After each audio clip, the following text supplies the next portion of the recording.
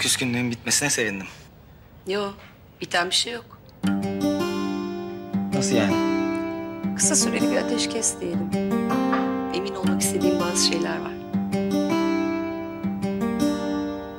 Yakında anlarsın. Ya sen saçını mı kestirdin? Evet, fark ettim. Nasıl olmuş? Allah kesimine bayıldım.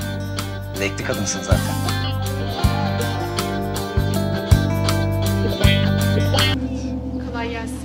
Teşekkür ederim. Yine bekleriz. Merhaba. Aa, ya sen hem köpekleri gezdirip hem de poğaçaları mı yaptın? Amaratlıkta on kaplan gücündesin gerçekten. Bravo. İşe yaradığını bilmek, bu hissi özlemişim. Bir de kimseye yük olmamak var, onu henüz beceremedim Müftü abi. Bak onu da becereceksin. Şu yük olma konusu var ya. Öyle düşünmeni istemiyorum çünkü kimseye yük değilsin tamam mı? Ben şunları bir aşağı götüreyim. Tamam. Buyurun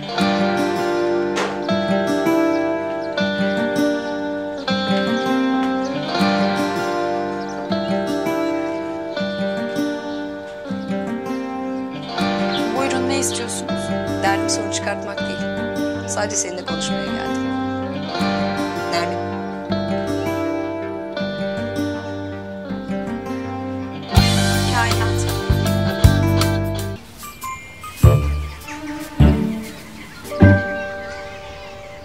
Sizi dinliyorum. seninle çok nahoş zamanlarda karşılaştık değil mi? Ama inan o anlarda ben de en az senin kadar kendimi aşağılanmış ve kandırılmış hissettim. Kainat, sana bakınca çok duru bir güzellik görüyorum. Ve bundan korkuyorum. Seninle rekabete girecek kadar aptal değilim. Ama inan, söz konusu Ege ise zaten hiç kimseyle rekabete girmem. Nermin Hanım. Lafı fazla uzatmayacağım. Sadece tek bir soru soracağım sana. Ege ile bir ilişkin var mı?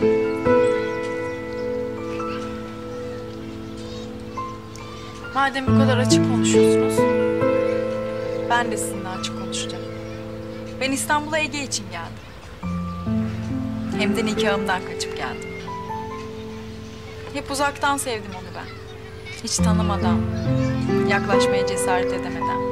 Buraya geldim ve onu tanıdım.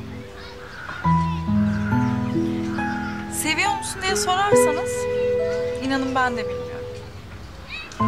Ama ilişkiniz var mı derseniz böyle bir ihtimal dahi söz konusu değil. Seninle bunları konuşabildiğim için çok mutluyum. Teşekkür ederim.